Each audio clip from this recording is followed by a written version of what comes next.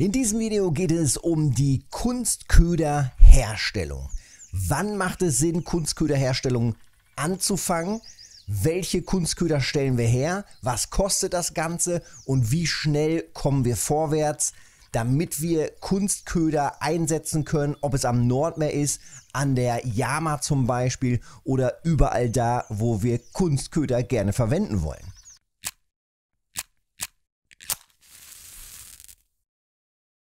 Grundsätzlich muss man sagen, Kunstköderherstellung im Game ist wahnsinnig teuer. Und wir benötigen, damit wir hochwertige Kunstköder herstellen können, natürlich auch noch Skillpunkte. Das bedeutet, wir brauchen Skillpunkte übrig. Denn die Herstellung von Kunstködern, es ist schon ein absolutes Nice to have. Es ist gut, wenn man das machen kann, aber es ist auch absolut nicht notwendig im Game, dass man Kunstköderherstellung skillt. Wenn man also Schwierigkeiten hat oder anfangs noch nicht weiß, wo kommen überall meine Skillpunkte rein, was ist essentiell, was ist wichtig, dann verzichtet man natürlich als erstes auf sowas wie Kunstköderherstellung. Wenn du dir unsicher bist, was wichtig ist, was sind die essentiellen Skillpunkte, ich verlinke hier nochmal das letzte Skillpunkte-Video. Da wird erklärt, was sind die essentiellen Skillpunkte fürs Posenangeln, fürs Grundangeln, fürs Spinning und natürlich auch fürs Meeresangeln. Und damit kannst du dann entscheiden, was ist für dich wichtig, was sind die wichtigen Skills und Skillpunkte in den einzelnen Talentbäumen. Das, was dir dann am meisten Spaß macht, das skillst du dann durch. Alles andere lässt du erstmal weg. So sparst du dann schon mal ein paar Talente und ein paar Skillpunkte und hast dann irgendwann Skillpunkte auch übrig für zum Beispiel sowas wie Kunstköderherstellung. Ich hatte jetzt zuletzt beim Nordmeer fast alles durchgeskillt und habe dadurch jetzt auch immer noch Skillpunkte frei. Ich bin auch mittlerweile ja Level 45. Ab 40 kriegt man ja pro Level 4 Skillpunkte extra. Bedeutet also, man kommt so langsam in den Bereich, wo man mehr Skillpunkte bekommt, als man verteilen möchte oder verteilen muss zwingend. Und dementsprechend habe ich jetzt einfach ein paar Skillpunkte übrig, weil ich anderes gespart habe. Und die verteile ich jetzt in die Kunstköderherstellung. Bedeutet also, wann ist es sinnvoll, damit anzufangen? Damit man bei jedem Herstellungsprozess auch hochwertige ähm, Qualität 9 von 10, Qualität 10 von 10, ich zeige das nochmal eben. Wenn wir uns hier die Balsamino anschauen, da vorne steht es dran. Also Qualität 9 von 10 und Qualität 10 von 10. Das sind die beiden essentiellen, also das wollen wir haben. Darunter wollen wir eigentlich gar nicht die Köder verwenden. Ja, natürlich kann man das machen, aber wir wollen doch jede Chance nutzen, besser, schneller, einfacher Fische zu fangen. Und da hat dann natürlich auch die gute Qualität der Köder einen Einfluss drauf. Bedeutet also, wir wollen eben nur die 9 von 10 oder 10 von 10 verwenden. Das bekommt man auch immer raus, wenn man maximal die Skillpunkte eben investiert hat ins Herstellen der Kunstköder. Bevor ich jetzt anfange, ich habe noch die Happy Hour übrig. Ich kaufe jetzt gleich ein.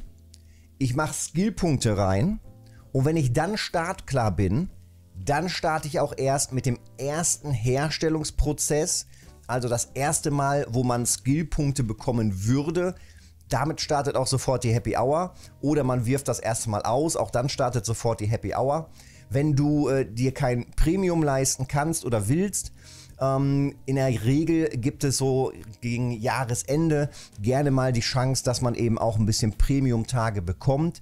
In der Zeit dann vielleicht darauf konzentrieren, dass man sämtliche Skills nach oben kriegt. Ob das jetzt eben hier fürs Kunstköder herstellen ist oder ob das dann auch für die anderen ähm, zum Beispiel Köderbeschaffung ist, Angelfutterzubereitung ist, die Zeit dann schon mal im, im Blick behalten. Es gibt da immer mal wieder Premium-Tage und dann Geld vielleicht schon mal sparen für diese Zeit und dann in der Zeit, wo man Premium hat, schön die Happy Hour durchballern mit Skillpunkten, mit diesen Jobs, mit diesen Berufen und nicht mit Angeln.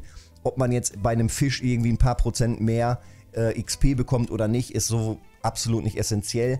Aber hier mehr Skillpunkte kriegen bei den Jobs, das macht einen riesen Unterschied. Also legen wir los. Ich verteile jetzt hier meine ersten Skillpunkte.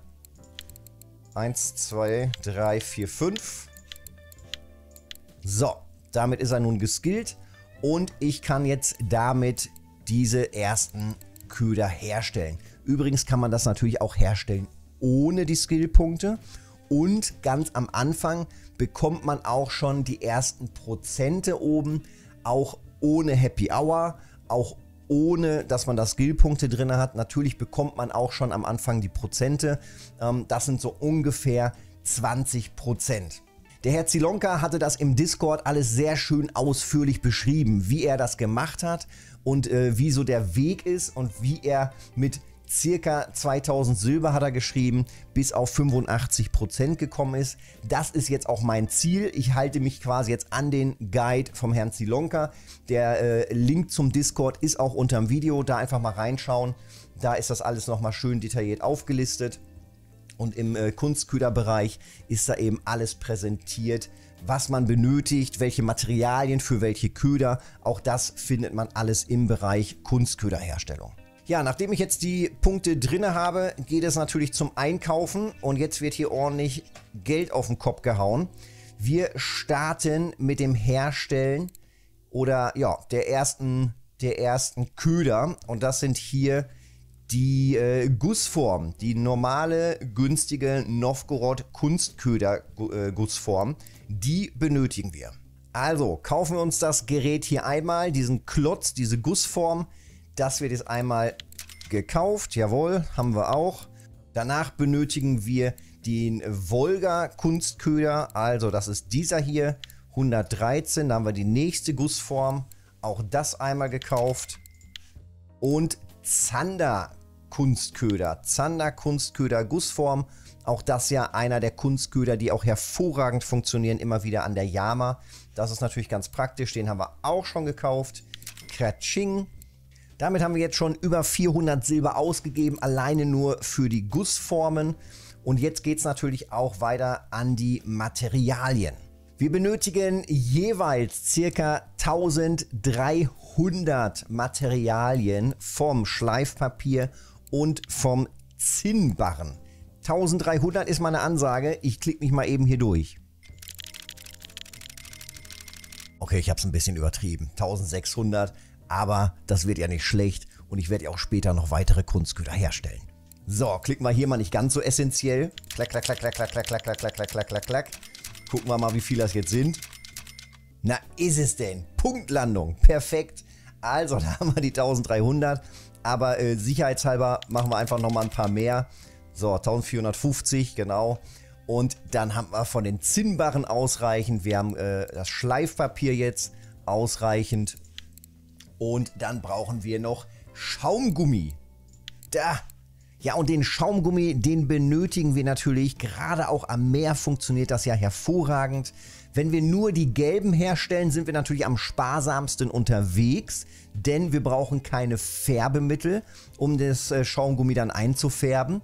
Das heißt, der günstigste Weg ist natürlich dann jetzt hier die äh, Schaumgummis einfach so zu verwenden, wie sie sind. Das heißt, wir ballern einfach nur Schaumgummi gelb durch um damit Skillpunkte zu machen. Ich werde allerdings zwischendurch auch mal ein paar Farben einsetzen. Heißt, das wird ein bisschen teurer für mich. Ich will einfach auch andere Farben haben.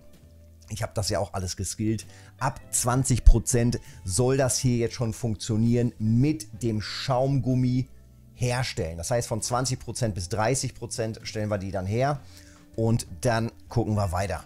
Ähm, auch davon kaufe ich jetzt erstmal vielleicht erstmal nur die 200 Stück. Angegeben ist das hier mit circa 70 Stück.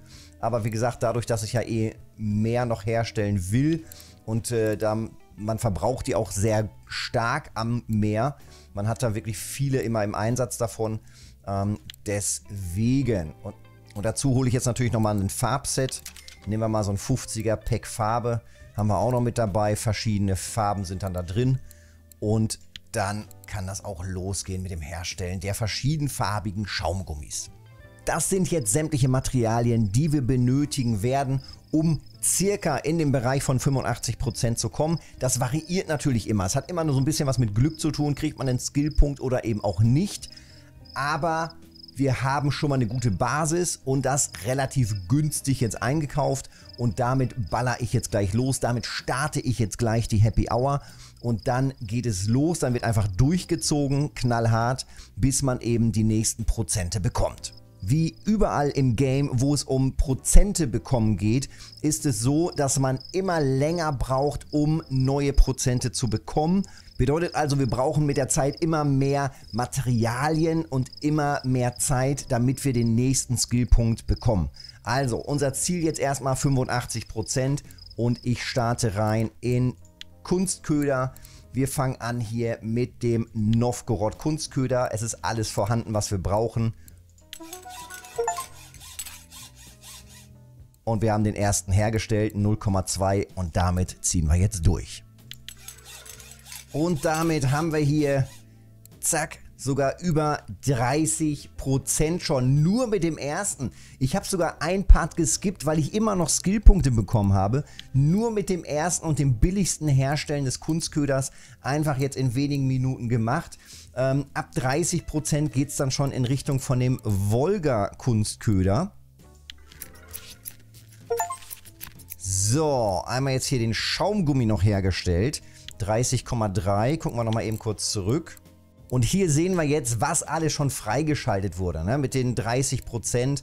Novgorod, hier den äh, Moskau Kunstgötter Schaumgummi ist ab 10% schon frei. Das heißt, wenn man die nur mal eben schnell skillen will fürs Nordmeer, man braucht bloß 10% in der Herstellung, dann kann man die schon produzieren und man produziert die eben automatisch auch in einer ganz guten Qualität. Also das ist hiermit die günstigste Möglichkeit, wenn man eben gute Köder auch braucht fürs Nordmeer. Volga Kunstköder jetzt schon und äh, in klein, Volga Kunstköder klein, der ist auch da. Ja, jetzt heißt es natürlich direkt weitermachen. Jetzt ist das hier auch alles freigeschaltet. Mal kurzer Blick in die Skillpunkte. Volga Kunstköder in klein, Haken brauchen wir nicht. Gussform ist da. Und damit geht das jetzt weiter bis 55% Und damit haben wir die 50% erreicht. Gucken wir nochmal eben rein. Kunstköderherstellung. Da haben wir jetzt hier diesen als lang. Das nächste ist dann 55% 60% 65, 70, 75, 80, 85, 90. Ja, und dann hier unten Walker und Jerkbait ab 100%. Ähm, aber bis jetzt schon mal die 50%, das sieht auch schon mal ganz gut aus. Und das hat gar nicht so lange gedauert. Also, Kunstköder, gucken wir mal eben rein. Wir könnten den jetzt auch herstellen. Kostet quasi die gleichen Materialien und ist hochwertiger. Und ich glaube, ich mache jetzt ein paar Prozente einfach mal mit dem hier noch weiter. Wobei ich dann ja auch wieder die neue Form kaufen müsste, ne? Ich bleibe einfach beim Kleinen und ziehe weiter durch. Und da gehen sie rein, die 55%. So, und ab jetzt bis Level 100. Alter, ziehen wir hier durch.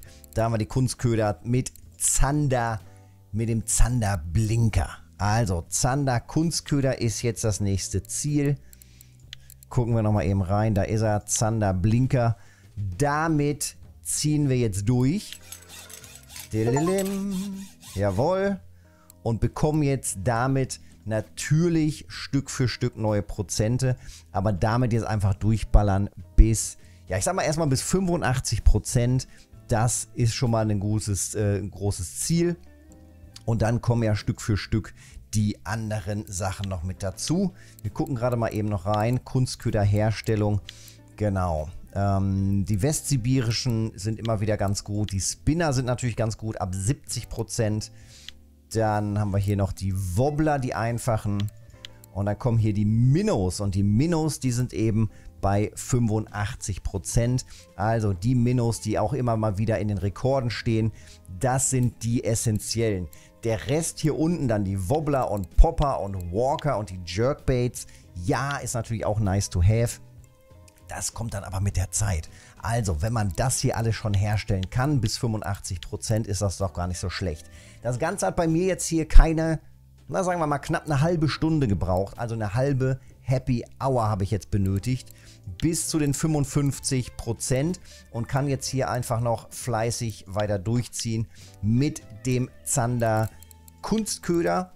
Und das machen wir jetzt auch. Ich ziehe jetzt hier weiter durch. Aber das ist quasi the way to go und damit kommt man effektiv und schnell vorwärts. Ich hoffe, das Ganze hat geholfen. Wenn ja, Daumen da lassen, Kanal abonnieren, das hilft mir. Und dann sehen wir uns im nächsten Video oder im Livestream auf Twitch, montags, mittwochs und freitags immer um 19 Uhr. Bis dahin, Petri.